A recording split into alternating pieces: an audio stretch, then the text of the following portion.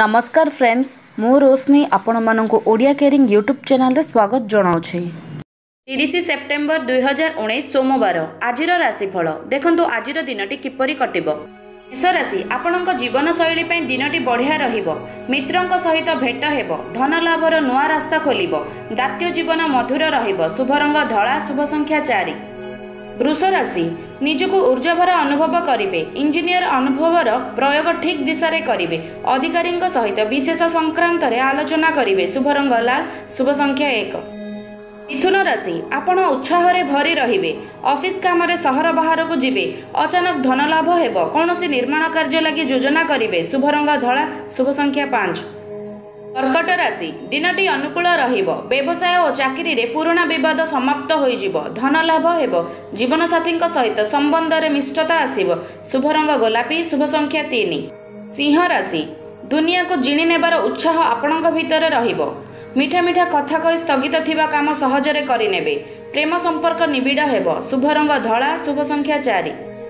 କନ୍ୟା ରାଶି। ଆପଣଙ୍କ ଉର୍ଜାର ସ୍ତର ବୃଦ୍ଧି ହେବ। କଥାରେ ସମସ୍ତଙ୍କୁ ପ୍ରଭାବିତ କରିବେ। ଅଫିସରେ ବରିଷ୍ଠଙ୍କର ସାହାଯ୍ୟ ପାଇବେ। ବିବାହିତ ଲୋକଙ୍କ ଲାଗି ଦିନଟି ଭଲ। ଶୁଭ ରଙ୍ଗ କଫି ରଙ୍ଗ ଶୁଭ ସଂଖ୍ୟା ଦୁଇ। ତୁଳା ରାଶି। କାର୍ଯ୍ୟବ୍ୟସ୍ତତା ହେତୁ କ୍ଲେଶ ଅନୁଭବ କରିବେ। ଆପଣଙ୍କର ଆର୍ଥିକ ସ୍ଥିତି ସାମାନ୍ୟ ରହିବ। ଜୀବନସାଥୀଙ୍କ ସହିତ ସମ୍ବନ୍ଧରେ ଭାବପ୍ରବଣ ହୋଇପାରନ୍ତି। ଶୁଭ ରଙ୍ଗ ଧଳା ଶୁଭ ସଂଖ୍ୟା ଏକ।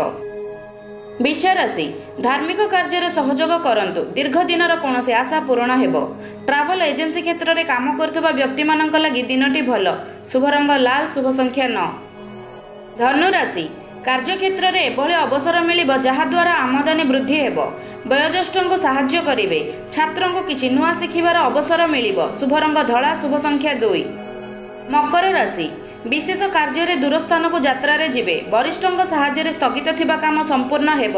ପରିବାରରେ ସୁଖ ଶାନ୍ତି ବୃଦ୍ଧି ହେବ। ଶୁଭ ରଙ୍ଗ ଲାଲ ଶୁଭ ସଂଖ୍ୟା ତିନି। କୁମ୍ଭ ରାଶି। ପୂଜା ପାଠରେ ସମୟ ବିତିବ। ବହୁଦିନର ଲାଗି ରହିଥିବା ଚିନ୍ତା ଦୂର ହେବ। କିଛି ଭଲ କାମରେ ସହଯୋଗ ଦେଇପାରନ୍ତି।